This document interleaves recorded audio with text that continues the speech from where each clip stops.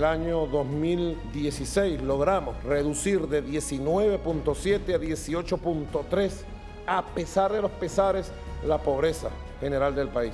Estoy seguro la victoria del buen vivir del pueblo. Es y será la victoria del legado hermoso y amoroso de nuestro comandante Chávez.